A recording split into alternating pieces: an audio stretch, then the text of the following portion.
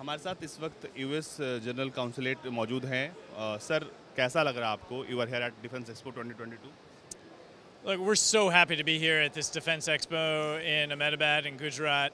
Our goal is to work closely with India and Indian firms to build Indian capacity through co production and co development to build the Indian military capacity. We've brought this interagency delegation from Delhi, from Indo-PACOM in Hawaii, from Mumbai. We have people here who are working with US firms that have decades of experience, one of them even more than a century of experience, working in India to build Indian capacity. And that's everything from production to design and figuring out how we can bring our two countries closer together to build the shared vision of the region and the world that we want a prosperous, open, secure, and free Indo Pacific. F-18 is here and we have seen F- F-18 is uh, now showcasing its power to Indian Navy. Yeah, the F 18 is a great platform.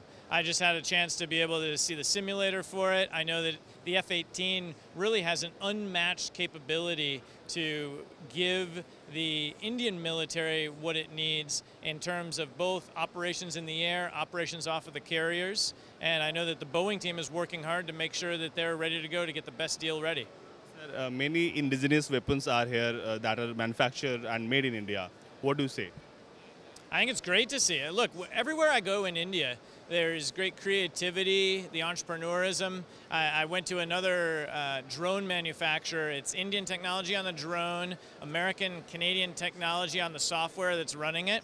I think this is the best thing that we can do between partner nations is bring the very best of our entrepreneurship and our creativity and our design to the problems and the challenges of today and the future.